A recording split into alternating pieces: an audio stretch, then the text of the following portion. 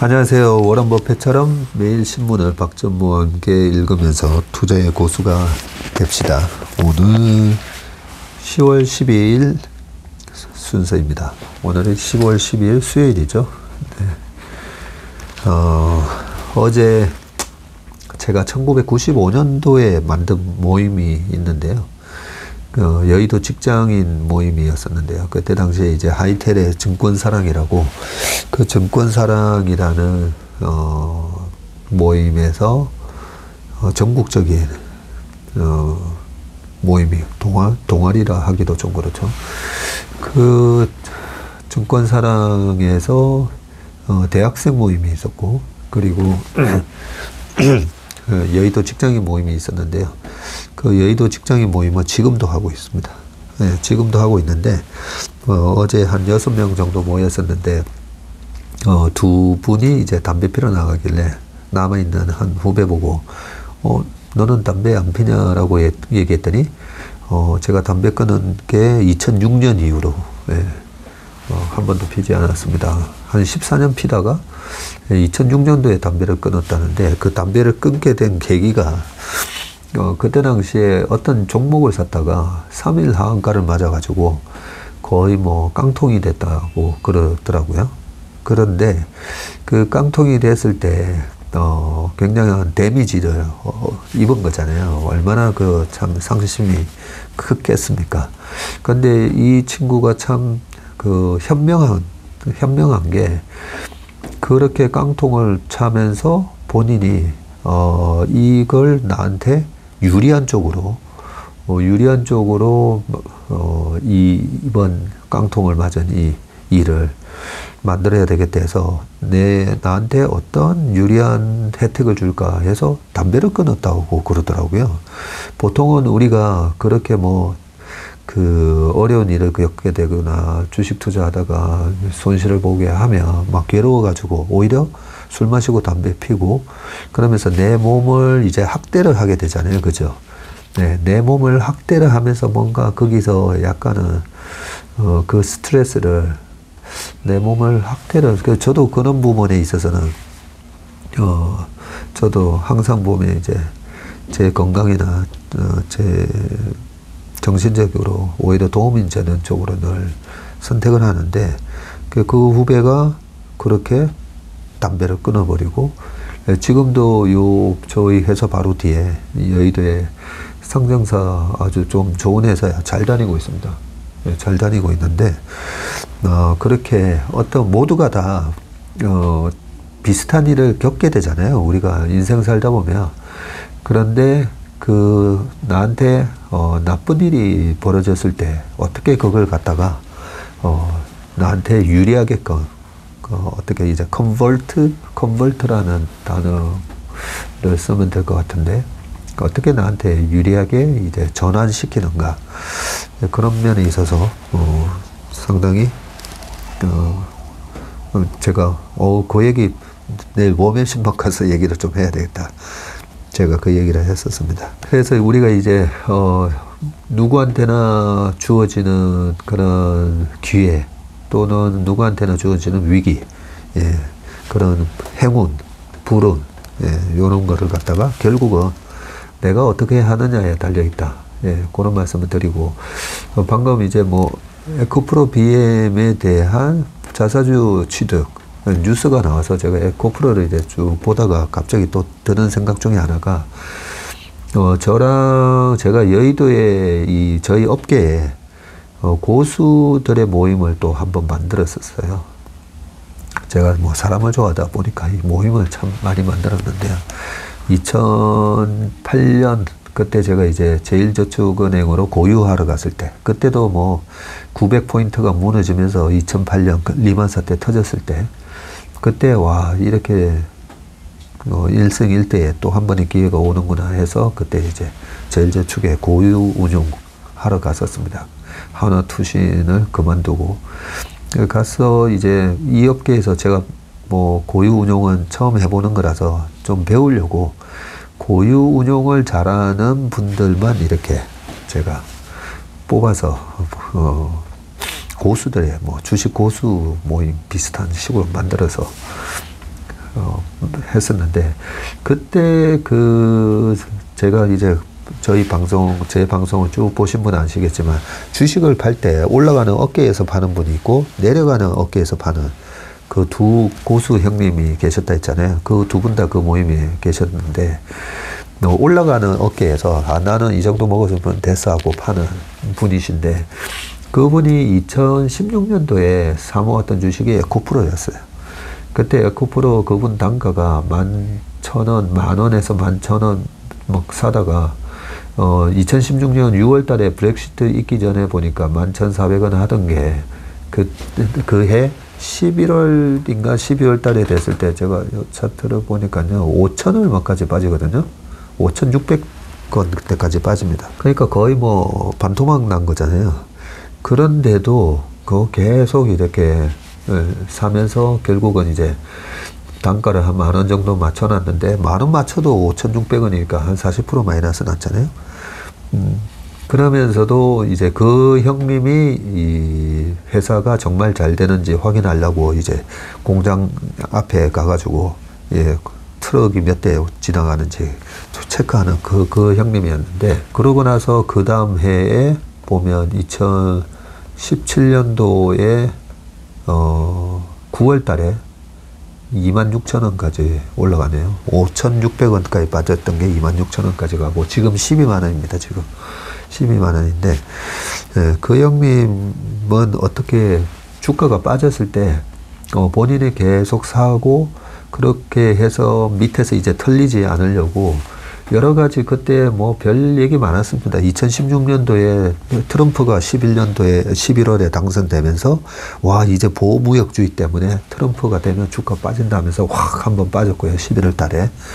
그러고 나서 12월 달에 금리를 두 번째 또 올리죠. 15년 12월 달에 처음 올렸었다가 16년 12월 달에 금리를 또 올립니다. 음. 그러면서 그때 당시에 상당히 분위기가 안 좋았음에도 불구하고 그걸 버티더니 그 다음 해에 네, 2만 원 넘어갈 때 딱 나는 100% 먹었으니까 판다고 팔고 나갔었는데 그 어려웠던 2016년 하반기를 견딜 때 계속 이제 뭐 자전거 얘기하고 자기가 좋아하는 음악 얘기하고 뭐, 그, 그 대화방에서 시끄러울 정도로 뭐. 예, 그러면서 이제 그 스트레스를, 어, 외면을 하면서 시장에서 받는 스트레스를 외면을 하더라고요. 그래서 우리가 주식 투자를 할 때는 어, 내 마음 관리를 할 줄 알아야 됩니다. 내 마음 관리와 내가 이럴 때는 어떻게 내가 대응을 하는 게, 어, 이 위기를, 어, 나한테 좋은 것으로 컨버트하는 그런 어, 대응 방법까지 한번 우리가 생각해 볼 필요가 있습니다. 어, 오늘은 중국 얘기들이 어, 좀 집중적으로 좀 한번 해보, 해보겠습니다. 우리가 지금 이제 대중 수출 비중이 28% 갔다가 최근에는 좀 낮아져서 23%까지 떨어지긴 했지만 여전히 우리나라 수출의 제 1등 국가고요. 어, 2등이 이제 미국이 많이 올랐죠. 다시 16% 정도까지 올라가고 했었는데, 어, 중국의 지도자, 이 시진핑이 이제 3연임을 하게 되고, 그죠?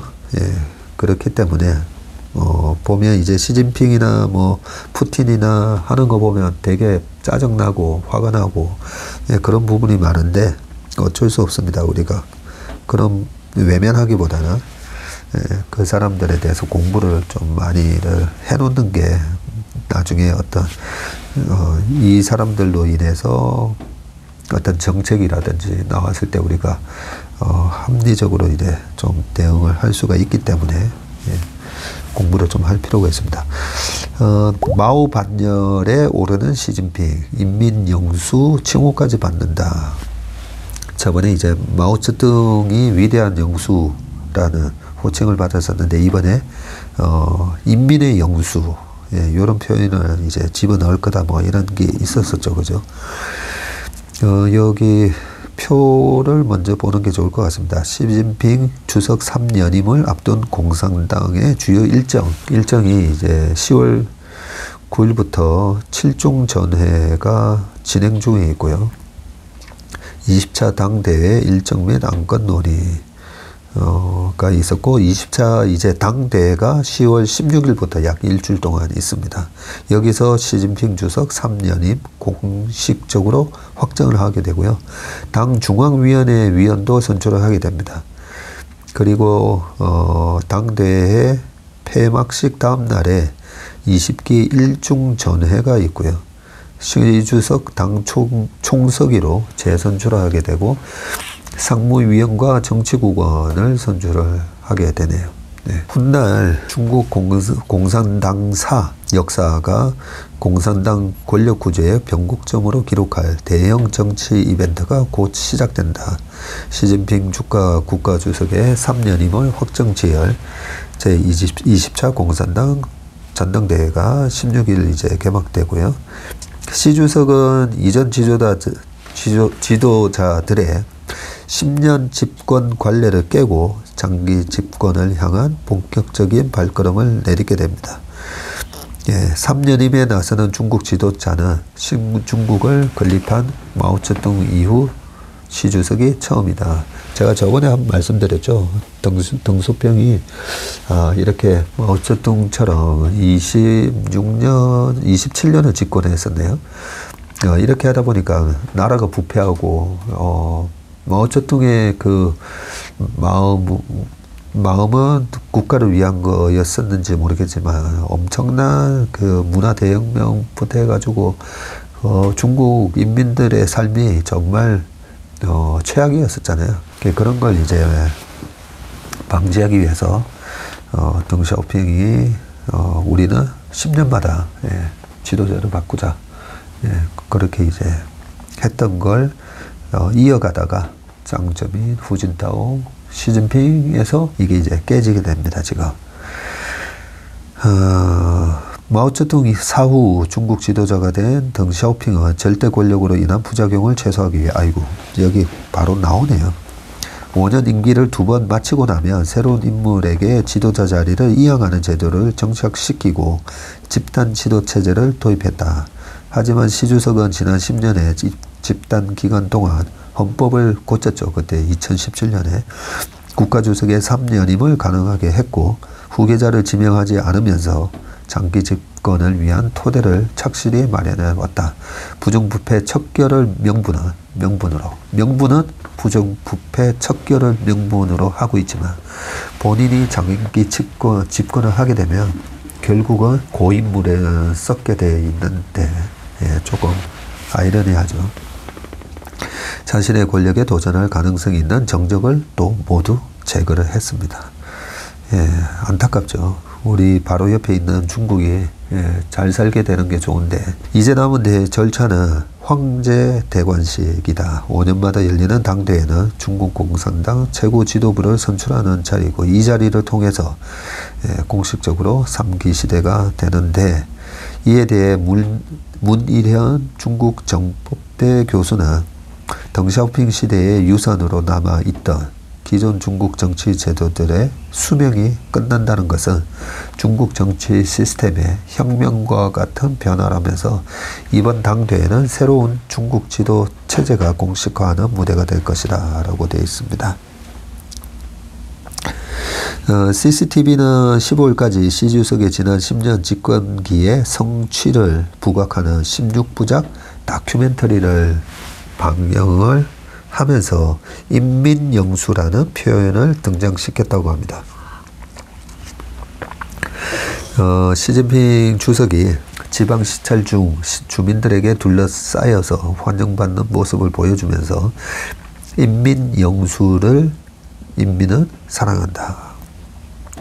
예, 인민영수 인민애 라는 자막을 넣었다고 합니다. 이에 시주석이 이번 당대에서 인민영수 호칭을 공식적으로 부여받을 것이라는 관측이 나온다. 중국에서 영수라는 호칭을 받은 지도자는 마오쩌둥 뿐이다.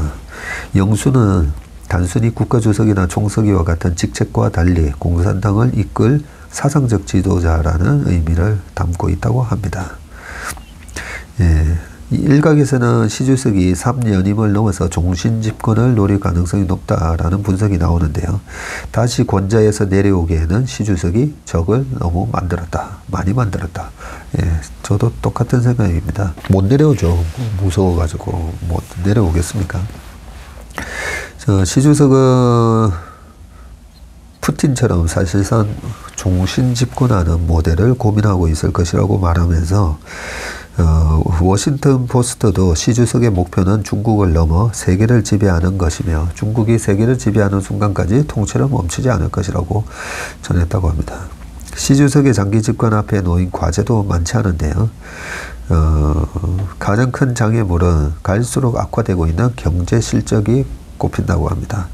무관용 제로 코로나 정책도 중국 민심을 흔들리게 하는 요인이고요.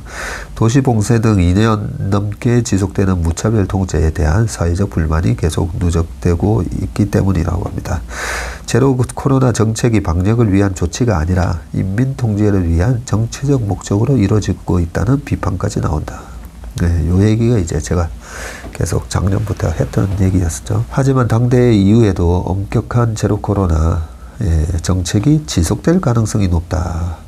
시주석의 3년임과 함께 중국 공산당 어, 최고 지도부 정치국 상무위원회 또 누가 오를지 관심이 모아지고 있는데 우리가 잘 아는 이제 리커창 총리가 67세네요. 67세. 리커창 총리의 후임으로 왕양 어, 전국인민정치협상회의 정협 주석이 가장 유력한 후보로 거론되고요. 어, 똑같은 67세네요. 과거 부총리 시절에 1대1로 사업과 빈곤 대책, 빈곤 대책 마련을 총괄하면서 시 주석의 신임을 얻은 것으로 알려져 있다고 합니다. 후추나 부총리 59세인데 총리 후보로 거론되고 있다, 있다고 합니다. 이와 관련해서 대만 중앙통신사는 시 주석 입장에서는 5년 후 퇴임하는 왕량이 젊은 후추나에 비해 후계 문제에서 덜 위협적이기 때문에 그가 총리가 될 가능성이 크다고 보도했는데요. 아, 또 이런 이유가 있을 수가 있겠네요. 2013년 3월 총리에 오른 리커창은 총리 임기는 최대 10년을 넘길 수 없다는 헌법 조항에 따라서 내년 3월 물러나게 된다고 합니다. 어, 일각에서는 리 총리가 총리직에서는 물러나더라도 전인대 상무위원장으로 이동해서 상무위원직을 유지할 것이라는 관측도 나오고 있고요. 과거에도 리펑 전 총리가 총리를 지낸 뒤 전인대 상무위원장으로 자리를 옮긴 사례가 있다라고 합니다. 중국 경제 상황이 엄중한 만큼 시 주석이 중국 최고의 경제통인 리 총리가 여전히 쓸모가 있다고 생각할 가능성이 높다라고도 하고요. 시 주석 측근 그룹이 상무위원회에 얼마나 새롭게 진출하는지도 관전 포인트라고 합니다.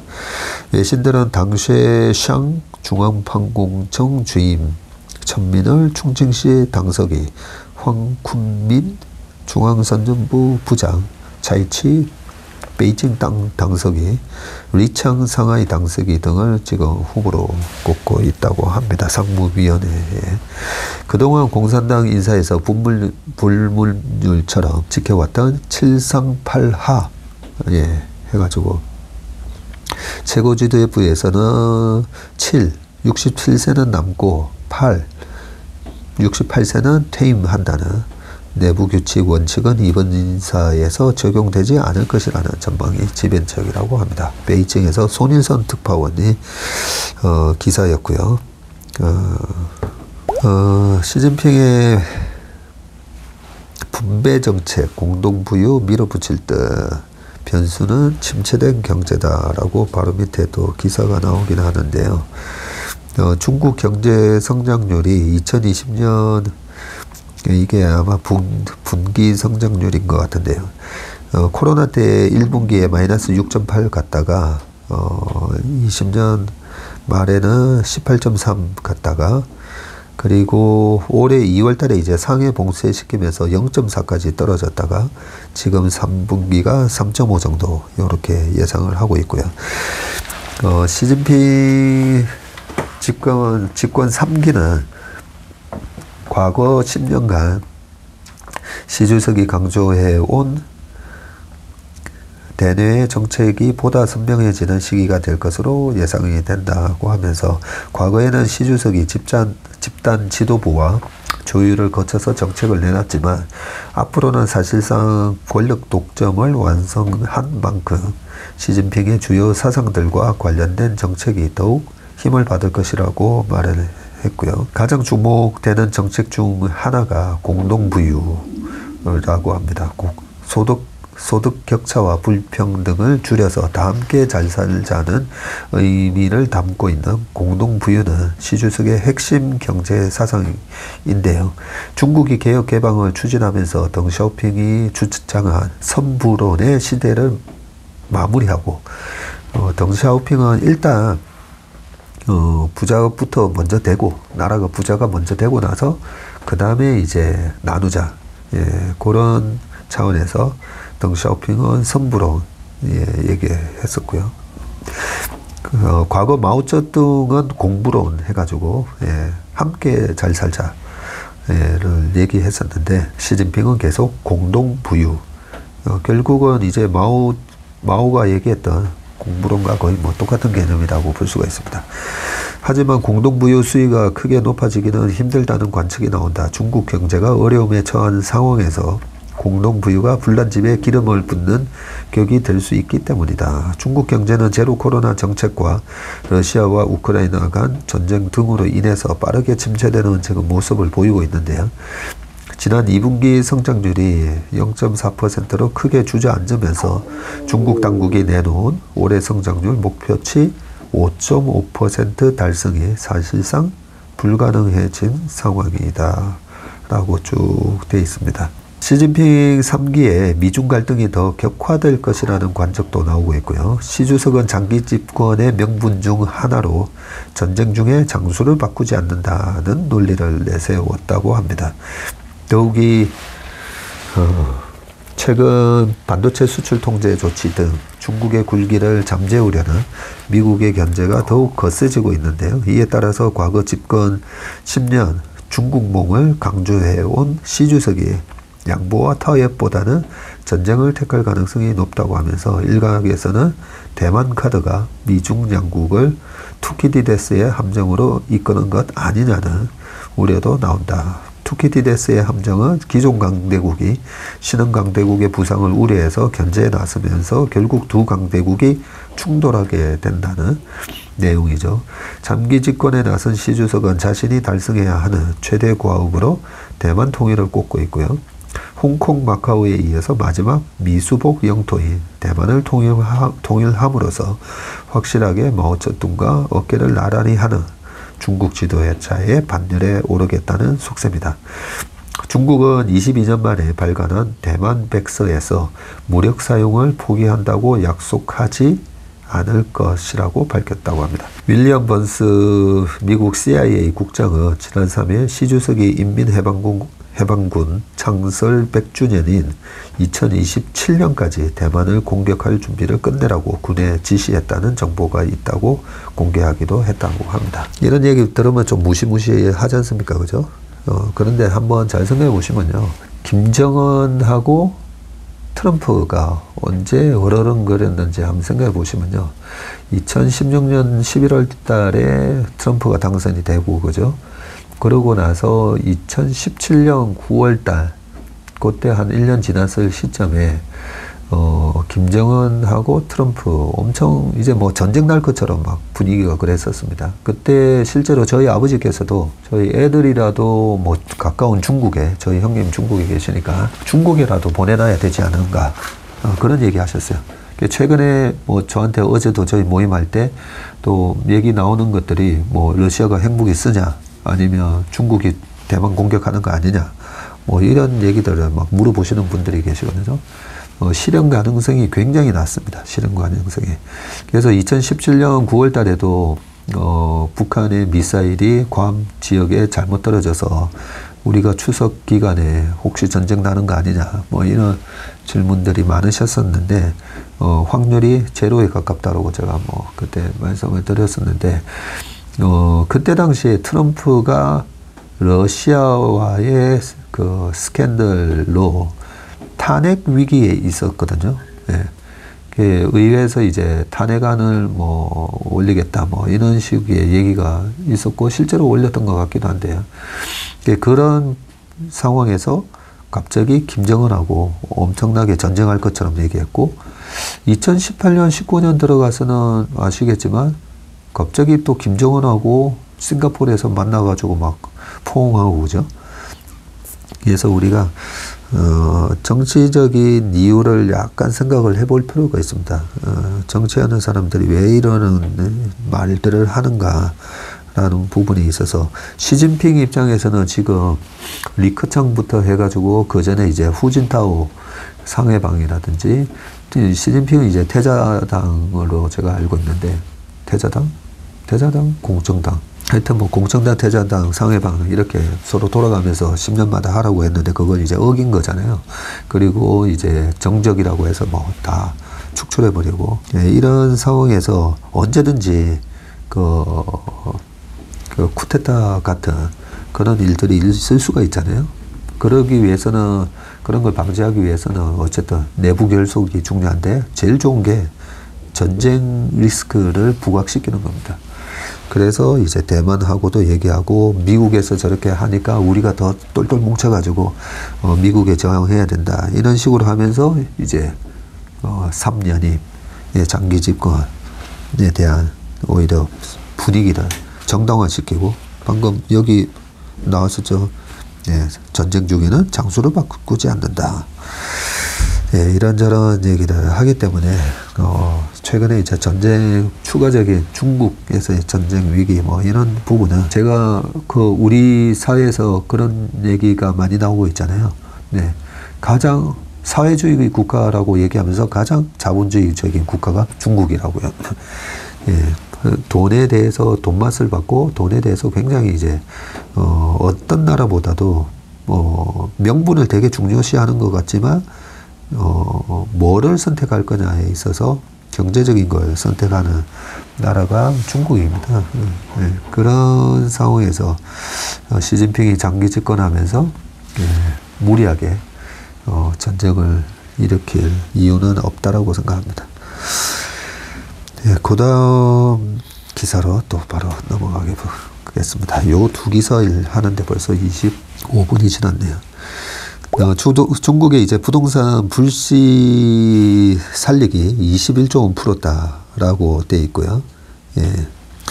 어, 인민은행에서 유동성 확대 안간힘을 쓰고 있고요. 코로나 후 첫 장기 대출 재개라고 돼 있습니다. 중국 중앙은행이 인민은행이 지난달에 어, 1082억 위안 약 21조 6,300억의 담보 보완 대출을 통해서 시장에 자금을 공급을 했고요.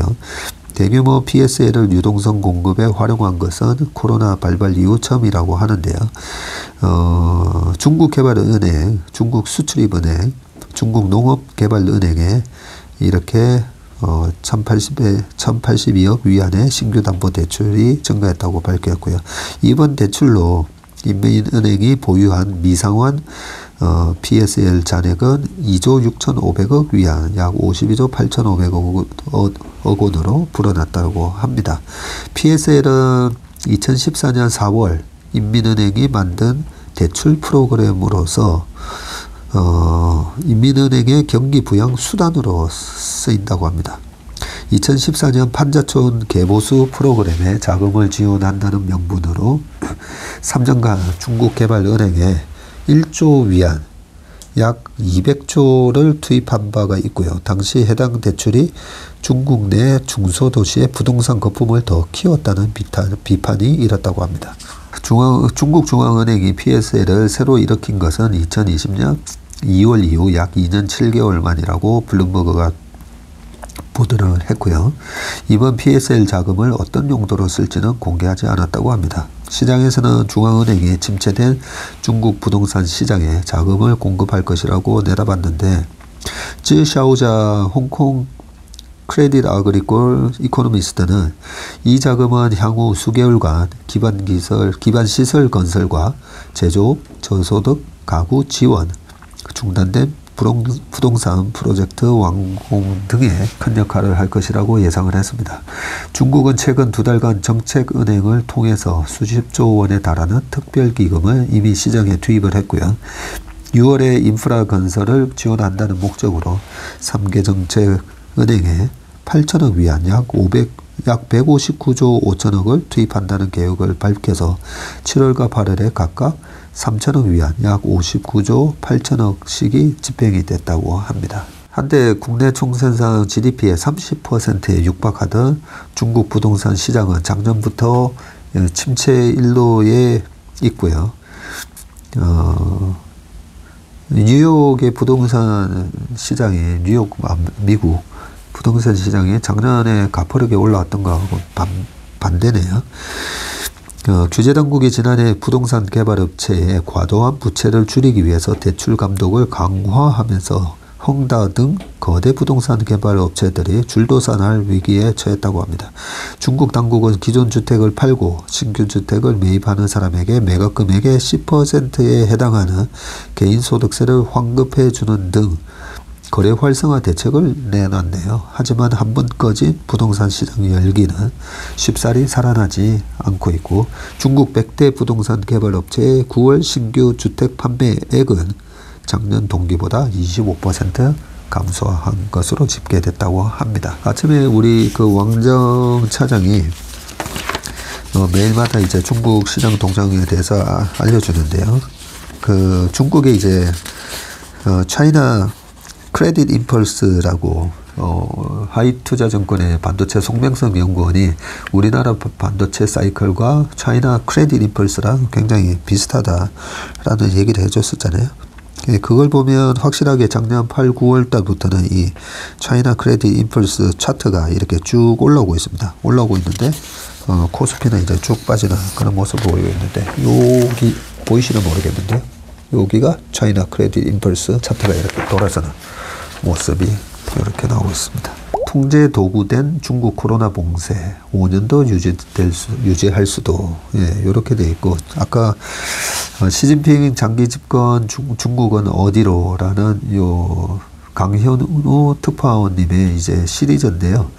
고강도 방역 방역 정책을 고수할 수도 있다. 네, 요런 얘기입니다. 이번에 이제 3년이 결정이 나고 나면 그래도 좀 이제 방역도 풀고 왜냐면 베이징 올림픽이 있다고 했잖아요. 11월 8일인가 예, 그때 예, 그러면서 이제 좀 완화하지 않겠는가라고 생각을 하는데 어, 지금 우리 어, 강현우 특파원님은 상시화된 전염병, 전염병 예방과 통제를 이번에 그 시주석의 최측근 중 하나로 꼽히는 차이치 베이징시 당서기가 6월 베이징 당대표 대회에서 향후 5년의 중점 사업을 보고하면서 상시화된 전염병 예방과 통제를 제시했다고 합니다. 그래서 어, 이후에도 5년 동안 계속 방역을 유지할 수 있다라는 의문이 제기되고 있 기도 하다고 합니다. 예, 미국 수출 규제에 TSMC가 와르르 무너졌다. 세계 반도체 시장 시총 344조가 6일 이후로 증발이 됐는데 어, 보니까 월거월부에 우리 앤드류 이종화 기자 기사이네요 보니까 어, 11일 대만 증시에서 TSMC가 무려 8.33% 지금 급락을 했다고 해서 어, 저도 한번 쭉 찾아봤더니 어, 주가가 어, 600 대만 달러가 넘었던 이 TSMC가 400달러 와 있더라고요. 예, 굉장히 많이 빠졌죠. 그런데 얼마 전에 이제 우리가 TSMC가 어, surprise한 실적을 냈다라고 우리는 알고 있지 않습니까? 그죠? 그래서 지금 보면 이런 이런 이제 명품 기업들이 어, 실적하고 상관없이 그냥 이 금리 공포 때문에 어, 큰 폭으로 이제 하락하는 그런 모습을 보이고 있습니다. 중국을 겨냥한 미국 정부의 반도체 산업 관련 규제안으로 미국 반도체 주가가 폭락을 하고 있다. 폭락을 많이 했죠. 중국뿐 아니라 전 세계 반도체 산업의 수요 감소를 불러올 것이라는 우려가 더해지면서 여기에 경기 위축으로 인해 쪼그라드는 PC 시장 전망 역시 하락을 부채질하고 있고요. 메모리 반도체 시장에 대한 불안한 전망이 커지는 것과 달리 파운더리 반도체 기업을 주목하는 의견도 나 오고 있고요. 특히 애플은 주요 PC 업체 중 매출이 유일하게 증가하는 만큼 관련 주들은 상대적으로 충격이 덜하다고 평가를 받는다. 최근에 이제 어, 필라델피아 반도체 지수가 올해 들어서만 이제 42% 빠졌고요. 당장 반도체주 하락의 직접적인 원인은 미국 상무부에서 발표한 중국 반도체 산업 추가 규제안이다라고 하면서 어, 이 얘기는 18나노 이하 뭐 수출 그 생산 장비 수출 금지한 거는 어제 이제 말씀드렸었고요. 그죠? 앞서 미국 상무부는 NVIDIA와 AMD의 고성능 반도체 칩 Lam Research Applied Materials와 KLA의 반도체 장비에 대해 수출 제한 조치를 또 시행을 한 바가 있죠. PC 수요 감소에 따르는 실적 악화 우려도 반도체주 급락으로 이어졌고요. AMD의 잠정 실적의 직격탄이 돼서 그죠? 주가가 큰 폭으로 빠졌었죠. 어, PC 중앙 처리, 자, 처리 장치 CPU가 포함된 클라이언트 관련 매출을 직전 분기 대비 54% 급감한 10억 달러로 AMD가 제시를 하면서 예, 주가가 크게 이제 밀렸었습니다. AMD 잠정 실적에서 커진 우려대로 지난 3분기 PC 수요는 급감한 것으로 나타났고요.